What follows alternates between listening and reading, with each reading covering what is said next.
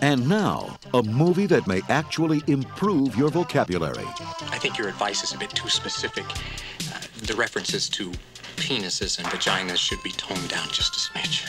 So I should use alternative terms like dick, wang, purple bulb, midget fireman's helmet, love sausage, and bearded clam? A movie that will teach you things you never knew about the opposite sex. Every man has a tiny vagina, and every woman has a tiny penis.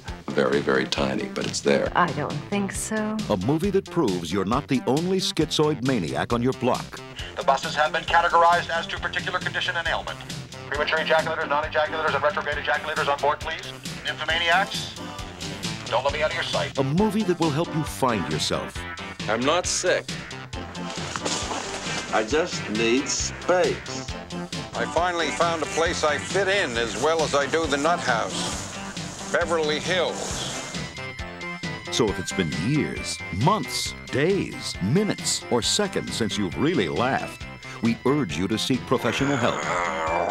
Dan Aykroyd, But I don't want to escape with you. I hate you.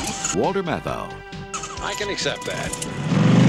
Charles Grodin, You had sex with one of your patients? Oh. Donna Dixon. The Couch Trip. Well, he said, balls, asshole, son of a bitch, and finally fuck. We're okay on balls, we're iffy on son of a bitch, and even asshole is somewhat anatomically potentially forgivable. There's no getting around fuck.